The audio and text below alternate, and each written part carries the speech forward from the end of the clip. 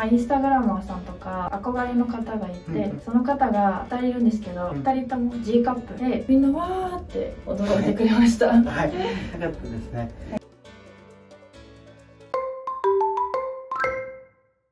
本日はクリニックのスタッフさんにご協力していただきまして死亡中に放棄2回目のご希望の方をご紹介したいと思います。よろしくお願いします。お願いします今回のスタッフさんは過去に一度単位で死亡注入放棄をしたんですけども今回2回目2回目の死亡注入放棄をしたいってことでご相談に来たんですね、はい、なので今回は2回目の死亡注入放棄をご紹介していくんですけどもやっぱり放棄手術って2回ぐらい考えてる方もいるのかなと思うんですね。なので2回目っていうのはどのようにしてやっていくのかとか、まあ、どういった部位ができるのか。1回目死亡吸引してない部位から取っていくんですけども、まあ、どうやって取っていくとかそういったことも含めてご紹介できればと思いますので参考にしてみてください。まず今回2回目の死亡中に放棄やろうと思った理由から聞きたいんですけど何でですかねはいもともと死亡放棄はしたくて1回やったんですけどそれでも結構サイズアップはして嬉しくなったんですけど、うん、まあ、インスタグラマーさんとかいろんな方を見て憧れの方がいて、うん、その方が2人いるんですけど、うん、2人とも G カップでさらにくびれもウエストあって二の腕とかもすごく細くてスタイルが綺麗だったので私も G カップになってくびれも手に入れたいなと思ったので2回目を崩島先生にお願いしました。はいありがとうございます。まずは1回目って何カップで1回目やった時どのぐらいバストアップしました？1回目やった時は C カップないぐらいで1回やって D カップになりました。今 D カップってことですよ、はい、大体脂肪中乳放棄って、まあ、1回で大体1から1.5カップ。人によってはうまくいけば2カップぐらい上がるんですけどもなかなか3カップぐらいまで上がらないんですよ。なので今 D カップなんで目標が G カップ、EFG なんで3カップですね。はい、3カップはちょっとなかなか上がらないのかなと思うので3カップを一気に上げたい方っていうのはシリコンバック包装とかやっていただければいいんですけども脂肪中に放棄っていうのは自然な感じでスタップするということで大体目安としては1から1.5カップいいと2カップぐらいっていうふうにちょっと頭に入れていければいいのかなと思います。ただ2回目の方っていうのは1回目に比べると結構定着しやすいんですよね。1回目で定着する土台っていうのができてるのでさらに定着しやすくなるかなと思いますのでもしかしたら G まではいかないと思うんですけども今 D ってことで F ぐらいまで行くのかなはい、個人的には思ってるので、はい、はい、しっかりと取っていければいいかなと思います。過去に太ももの脂肪筋されたってことで太ももは結構細いんですよね。ちょっと見ていただくと分かると思うんですけど他のクリニックさんでやられたんですけど太もも細いともう取れる脂肪はないんですよね。後ろ向いていただいて、まあ、いい感じですごいスタイルもいいと思うのでちょっとはい、なので、まあ、取れるとこないのでそういった方は違うところは取っていくんですけども今回はま上半身ですね。この二の腕。これでも結構取れるんですよ。肩のとこ振り袖のところですねであとこの背中こういうところ。くびれも作りたいって言ってたのでここですねこういうところ。今回お腹ですよね。はい。お腹はどの辺が気になってるんですか？この辺の前の出っ張りと、この辺のくびれが、うんうん、くびれですね。だからこういうところとかここですね。下っ腹ここってなかなか自分で落ちないんですよ、はい、お腹だと下っ腹なかなか落ちない方多いと思うので今回はデザインを重視しながら二の腕とか背中とかあとはお腹の下っ腹ベストメインでやっていければと思います。結構そのウエストのくびれを作りたいという方多いと思うんですけどもくびれってやっぱできる人とできない人がいるっていうからできやすい人とできにくい人がいると思うんですね。この骨盤なんですけどもやっぱ日本人ってこの骨盤がちょっと狭いんですよね。外国の方とかに比べると。なのでくびれっていうのはこの骨盤が広くてここが結構締まってると結構くびれになりやすい。今回のスタッフさんは結構骨盤が狭いのですごくくびれが出やすいってわけではないと思うんですね。なのでそういった方っていうのはこの辺はあまり取らずにここをメインで取る。そういうふうにすることによって入れできやすくなると思うので取るところを取って取らないところは残すみたいなそういったふうな脂肪吸の仕方もありますのでそれはオーダーしていただければその方にとっての一番ベストな形骨格の形を意識しながらできますので何かリクエストがあれば教えていただければと思います。今回ですね脂肪注入報告は2回目ってことなんですけども反対のこと不安なこととかってありますか？はい1回目にやった時に、結構しっかり入れてくださったので、胸がカチカチになって、結構内出血も出たんですけど、最初は結構硬かったんですけど、今もう柔らかくてわからないので、まあ、それが最初ちょっと怖かったかなっていうところです。脂肪中に放棄をすると多分すごい大きくなっちゃいますね一時的にこんなに大きくなるのかなってびっくりする方もいると思いますし一時的に硬くなるんですよね。やっぱり大きくなるってことは皮膚がこうやって伸びますよね。皮膚が伸びるとその分カチカチになっちゃうんですよ。で本当に大丈夫なのかな？全体的にしこりじゃないのかなって不安になってしまう方多いと思うんですけどもそれは本当に一時的なことなのでこの経過っていうのはどんどんどんどん柔らかくなってくるんですね。でこう触っていただくと自分で柔らかいですよね。はい。そうこういう感じで全然柔らかいと思うんですよね。こういう感じでそうそうなんで硬いのは一時的なのでそれは心配しなくていいのかなって思います、まあ、2回目ってことで、まあ、1回目経過分かってるのでその辺は問題ないですかね。はい。わかりました。早速この後デザインしていきたいと思います。もともとどっちの方が気になるとかあります？もともと結構ちょっと左右差があって、うん右の方がやっぱりちっちゃいのでうん。調整していただけたらなと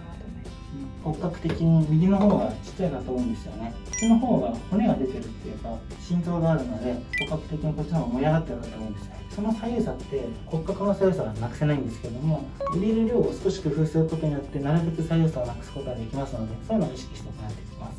下のところもちょっと大きくなったりとか。はい。横の中を決めてここあるときってはい。そういうところに意識したいと思いますね。はいなんか特にどの辺が大きくなったとかありました？前回は結構下の方とかうんうん。この辺が大きくなったかなって。僕なんですけどこの上の高さですね。この辺を大きくしたい方って結構多いと思うんですけどいきなりここは大きくなれないんですよ。やっぱり下からどんどんどんどん大きくなっていってこうやって持ち上がった状態でまたここに入れることによって大きくなるので、まあ、まずは下なんですよね。下が大きくなった後に上が大きくなるっていう風に少し思っていただければと思いますあと二の腕ですね二の腕はです。ね気をつけした時のこの張り出しとかそういったところがなくなっていけばいいのかなと思います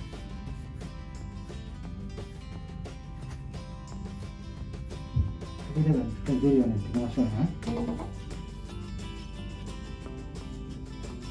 下っ腹はなかなか何しても痩せないですはいジムにも行ってるんですけど、うんうん下っ腹と二の腕は痩せない、うんうん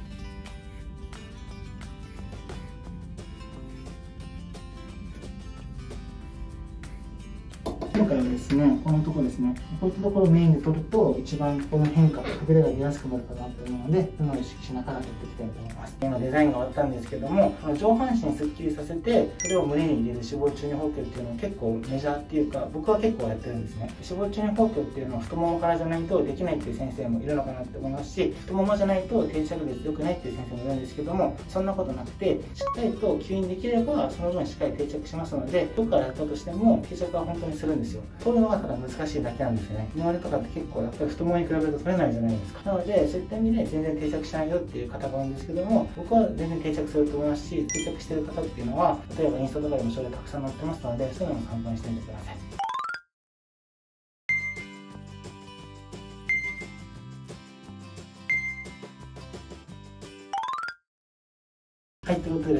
ですね、今手術が終わったんですけども、どうですかね、手術ちょっとなんか痛かったりとか、気持ち悪かったりします？全然気持ち悪さもないですし、うん。痛みも今はないので、元気です。お茶も飲んで、うん。さっきゼリーとかも食べました。はい、元気そうでよかったですね。結構範囲広かったんですけども、元気そうってことで、早速ですね、脂肪注入の術直後のやつっていうのを見ていけたらと思います。結構ね、大きくなりましたね。はい。入れるだけ入れてみたんですけども、ちょっとね、この辺に内出血があるかなって、この辺とか。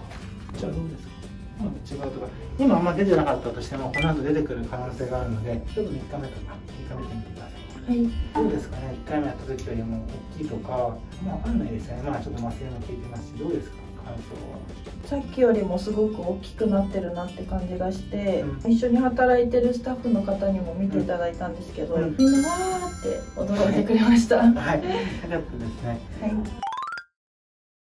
今回はお胸の脂肪注入をしてダウンタイムの経過約1週間目なんですけどもダウンタイムの経過どのようにして過ごしたのかとかまあ何が辛かったのかとかあと1回目の脂肪注入方法と比べて何が違ったのかとかそういったことも含めて聞いていければと思いますのでよろしくお願いいたします。まずですね気になるダウンタイムなんですけども1回目の胸の脂肪注入の時は太ももからされたじゃないですか、はい。太もも一周とかお尻とか話したと思うんですけども、2回目ですね今回は上半身全体ですねお腹周りと二の腕と肩と背中ですね。結構広い範囲からやったと思うんですけども1回目の太ももと比べて2回目のこの上半身全体のタイムどうだったかと教えていただきたいんですけどどうでしたかね？はい、1回目は足から取ってたので結構一番辛かったのがトイレに行くこと、うんうん、座る時もすごく痛くて動くのも大変だったんですけど、うん、今回は上半身だったので、うん、そういった辛さはなくってただ全体から取ってたので、うん、まあ筋肉痛のような痛さはまだありますことはどっちがいいかとかってあんまり比較できないですかね。そうですね。太ももからしか取れないって思ってる方いるいると思うんですけどもそうではなくて二の腕とかお腹周りとか範囲を広げればしっかりとバストアップできる十分な量の脂肪を取ることできますのでどっちがいいって時にないと思いますしどっちが確実に辛くないとかそういうころもないんですけどもどっちもできるってことを一つ参考にしていただければと思います。あとはですね2回目の脂肪中に放棄ってことで気になるのは大きさだと思うんですよね。せっかく2回やったってことなので1回目バストアップしたいじゃないですか。1回目と比べて胸の感じ感じ目の張り具合とかそういうところも含めて聞いていければと思うんですけどどうですかね？1回目は足から取って、まあ、2回目は結構足からが主流なので2回目はそんなにサイズアップしないかなとかちょっと思ってたんですけどやっぱり皮膚も伸びるようになったのか1回目よりもすごくバストアップを感じていて目標は G カップなんですけどちょっと近づけたかなと思ってます。はい、ありがとうございます。1回目の時、胸がカチカチだったって言ってたじゃないですか。胸はカチカチでなんか不安になっちゃった。2回目の時はカチカチ具合どうですか？2回目の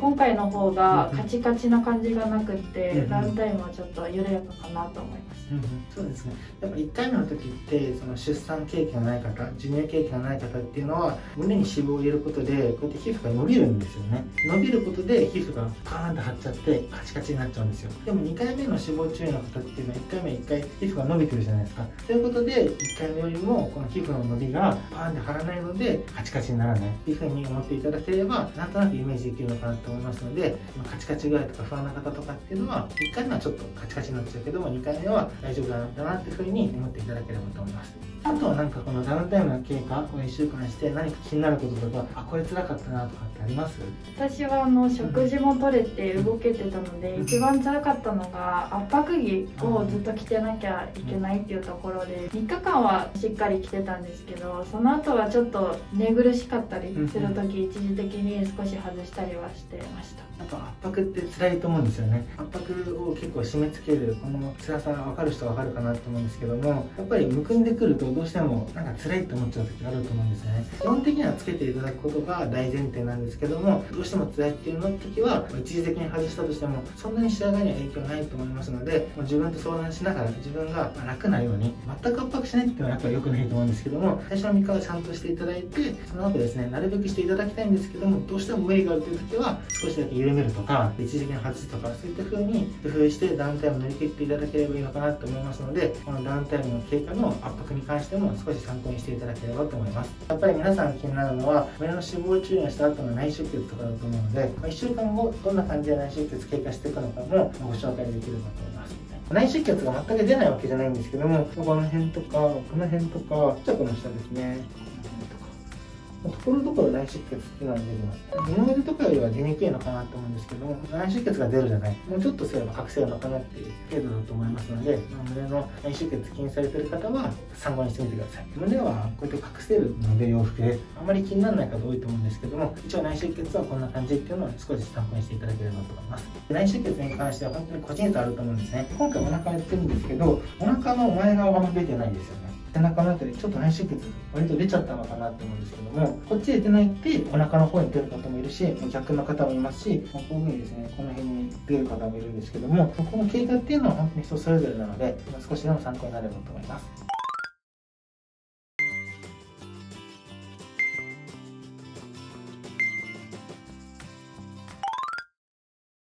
脂肪注入放棄2回目のダウンタイムの経過約1ヶ月でご紹介したいと思います。よろしくお願いします。お願いします。今回の脂肪注入包協は二の腕とお腹周りのすべての脂肪を取ってそれを胸に入れる脂肪注入包協だったと思うんですけども2回目なので1回目と比べてまずはどうだったのかっていうのを聞いていきたいと思います。脂肪注入包協ってやっぱり2回目の方がいろいろ変化あると思うんですよね。なのでまず1回目と比べて2回目この1ヶ月前のどうだったかちょっと教えてほしいんですけどどうでしたかね？2回目の方がやっぱり硬さが柔らかくなるのも1回目よりは馴染むのも早かったのと1ヶ月経って脂肪が残ってる量がやっぱり2回目の方がたくさん残っててサイズアップを実感してます。ぱりその脂肪中に包協ってもともと痩せ型の方だとどうしても1回目で定着する限界があるんですよね。で1回目である程度脂肪が定着したらその周りにまた脂肪を入れることによってさらに定着率をアップすることができるんですね。それが2回やるメリットだと思いますし脂肪中に包協でのバストアップをかなりしたい方っていうのは2回やるといいのかなと思いますので、まあ、1回目と比べて2回目。いろんな人に聞いても2回目の方が1回目と比べてかなり定着が良かった。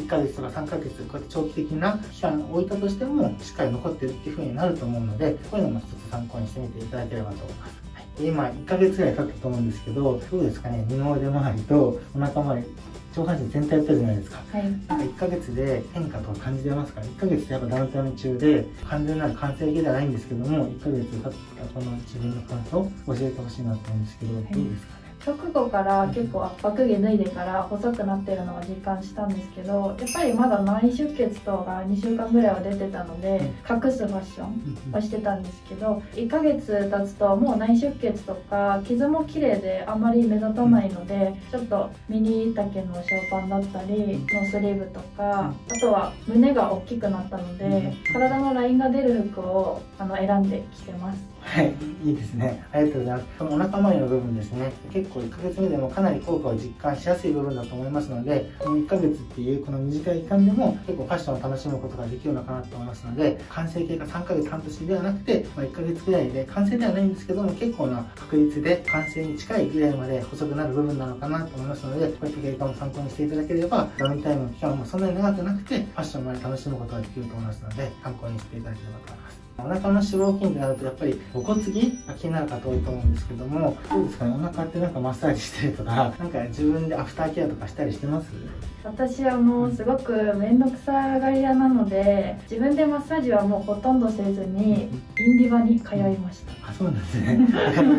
過去に1回目の脂肪注入包協で太ももから脂肪取ってると思うんですけどその時はインディバとか通いました、その時は通っていなくて、うん、マッサージもあんまりしてなくて、うん、綺麗に治ったんですけど、うん、お腹は結構ボコつきが出やすいって言われたので、ちょっと心配だったので、インディバに通いました。はい、ありがとうございます。まあ、インディバっていうのは通っても通わなくても僕はどっちでもいいと思うんですけども、大体どのくらいの頻度で1回あたりどのくらいなのかとか、もしあれば教えてほしいんですけど、どんな感じで通ってるんですかね？1週間に1回から2回ぐらい1ヶ月の間に通って、1回の時間は結構上半身しっかり脂肪筋してもらったので90分ぐらい。あ90分ぐらい。結構長いんですね。はい。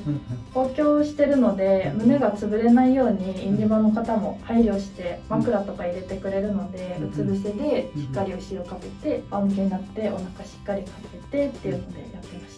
なるほど代わりにやってくれるので自分は何もしなくていいっていう意味では楽ですかね。楽でした、はい、痛くないです。インディバは痛くないんですか？痛くないです。あったかくて気持ちいいので、うん、まあちょっと寝ちゃったりとか、はい、全然マッサージより楽でしたはい、ありがとうございます。マッサージは、僕はね、してもしなくてもどっちでもいいっていろんな動画で言ってると思うんですけども、マッサージをすることで最終的な仕上がりっていうのは変わらないと思うんですね。ただ、そのマッサージをすることで、ほぐすっていう意味で、ダウンタイムの期間、この拘縮硬くなってる期間を早めることができると思うので、まあ、少しでもダウンタイムを短くしたりとか、そういうふうに思ってる方は、インディバに行くっていうのも一つの選択肢だと思いますし、特にお腹周り、ぼこつきやすいと思うんですよね。これはもうしょうがないことで、まあ、その厚みとかそういったことが原因になってくるんですけども、自分にちょっとできないっていうか、自分だとこうやってマッサージするの大変とか、そういうふうに思ってる方は、まあ、インディバの方に任せて、少しでも自分の負担を減らす、そういうのもありなのかなと思いますので、そういった意見っていうのも一つ参考にしていただければと思います。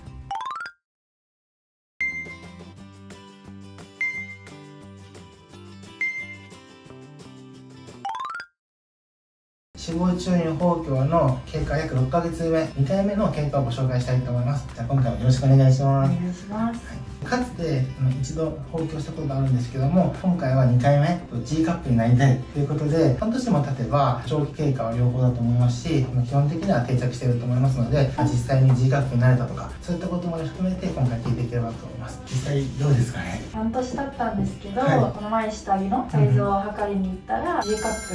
プあったので達成してます、G の、うん、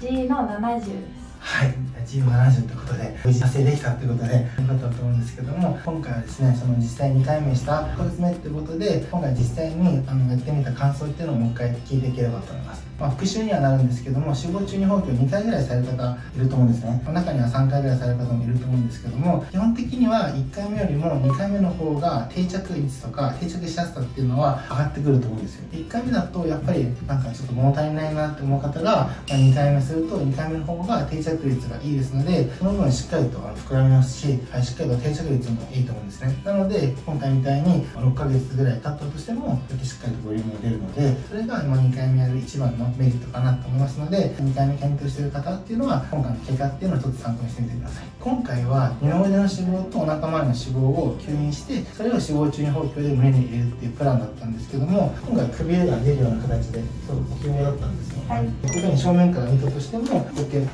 しっかりとバストアップした状態でしっかりと首では出ているような形にはなってるのかな。お腹のお肉っていうのは結構脂肪中乳包協と結構相性がいいのかなって僕自身は個人的には思っててこの辺の首を出したい方っていうのはここがなくなった状態で胸が大きくなればさらにこの綺麗なグラマラスなボディラインを作ることができるんですねこれがお腹の脂肪筋と胸の脂肪中乳包協を同時に行った場合の一番のその変化を感じやすいプランになるのかなと思いますので太ももだけじゃなくてお腹周りとかもこうやって綺麗に脂肪筋にすればその分しっかりとした脂肪を取ることができますのでお腹周りっていうのも一つの選択肢に入れていいのかなと思いましたのでこちらの結果っていうのも一つ参考にしてください。実際ですねあの脂肪中に放棄をして今半年なんですけどもどうですかね周りは例えば友達とかがなんかすごく大きくなったねとか自分のその生活の中で着る洋服が変わったとかサイズが変わったらもちろんなんか洋服も変わりそうだなと思うんですけどそんな感じですか？どうですか？洋服はやっぱりボディラインが綺麗になったので、うん、ちょっとぴったりめのボディラインがししっかりめに出るようなものを選んだりとか、あと周りの友達とかにはすごくサイズアップしてるので、胸が大きくなったねっていうのとリールができたのですごくスタイルが良くなったねって言われることが増えました。はいそうですね。胸が大きくなってこのくびれが出るようになったら結構その見た目としても結構はっきり分かりますよね。洋服着てても結構分かるのかなと思いますのでこちらの結果っていうのも一つ参考にしてみてください公共してバレるかどうかって結構不安な方も中にはいるかなと思うんですけどもしっかりとした場所に傷を作れば全然バレないんですね。その触り心地もすごく自然だと思いますし何がバレるかって言ったら不自然な位置に傷があった場合バレる可能性があるかもしれないんですけどそういったことはないので今回ですね傷の位置っていうのを合わせてご紹介したいと思いますこうなんですよね。ここ。ここからやってるんですよね。で手を下ろしてくださいね。ここに閉じると全然わかんないんですよ。このシワに沿って作ってるのでもうなんかシワなのか傷なのかわかんないっていうのが綺麗な場所に傷を作るそのポイントですね。でこちら側もですねここですかねここ。このことですね。なので手を閉じた時もなんかあんまりわかんないと思うんですよ。傷口も気になってる方はここにですね手を閉じた時のこのシワの位置に沿って傷を作るとわかんないと思うので傷もちょっと見てみて。